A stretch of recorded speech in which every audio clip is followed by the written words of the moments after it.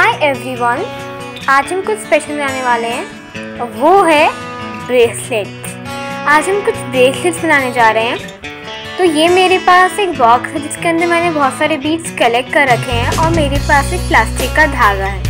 अगर आपके पास नहीं है तो फिर आप रोली का धागा जो हम मंदिर में यूज़ करते हैं, वो भी यूज़ कर सकते हैं। हम धागा इसलिए यूज़ नहीं कर सकते क्योंकि वो बहुत पतला होता है और फिर हमारा ब्रेसलेट बहुत जल्दी टूट जाता है।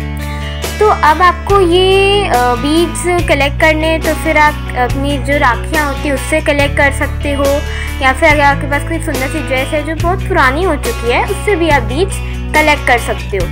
थोड़े दिन में जब आपके बीड्स कलेक्ट हो जाएँ तो फिर आप ये ब्रेसलेट आराम से बना सकते हो। तो अब हमें बस यही दो चीज़ें चाहिए, और अब हम अपना ब्रेसलेट बनाना शुरू करते हैं। तो सबसे पहले हम जो हम प्लास्टिक का धागा मैं यूज़ कर रही हूँ तो उसको अपने हाथ के मेज़रमेंट के हिसाब से हम कट कर लेंगे। अब ये वाला जो धागा है मैंने जो लिया है वो मैंने अपने हाथ से थोड़ा सा बड़ा लिया है, क्योंकि मुझे इसमें नॉट भी बांधनी है और नॉट बांधने के लिए हमें बहुत धागा चाहिए होता।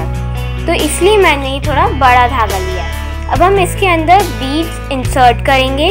तो बीड्स इंसर्ट करने के लिए हम अपने बीड्स लेंगे और फिर उसको हमें पैटर्न के हिसाब से इंसर्ट करना है। आप चाहे तो रैंडमली भी इंसर्ट कर सकते हैं, आप चाहे तो एक पैटर्न के हिसाब से भी इंसर्ट कर सकते हैं।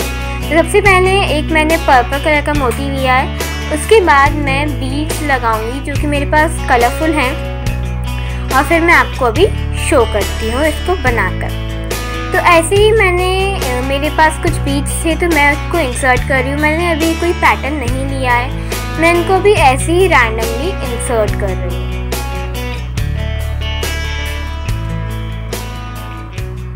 अभी हमें पूरे ब्रेसलेट में पूरा हमें डेकोरेट कर लेना और ये देख सकते हैं, मैंने बहुत सारे बीच इंसर्ट कर दिए हैं।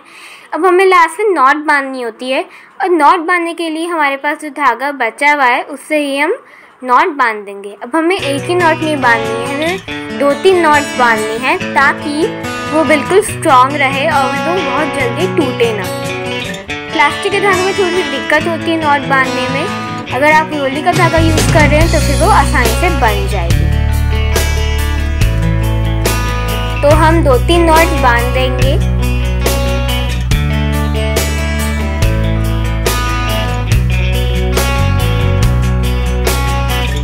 जिसके लिए आप बना रहे हैं, आप उसके हाथ का मेज़रमेंट पहले ज़रूर लें, क्योंकि अगर आप रैंडमली लेंगे तो हो सकता है उसको फिट ना हो। तो आप पूरा अच्छे से मेज़रमेंट लेके ही ब्रेसलेट्स बनाएँ। तो ये देख सकते हैं, मैंने नॉट बाँध दी है। अब हमारा जो एक्सेस धागा बचा है जो कि नॉट बांधने के बाद बच बच गया है और उसको हम सीजर से कट कर लेंगे। एंड हेयर वी गो हमारे ब्रेसलेट्स रेडी हैं।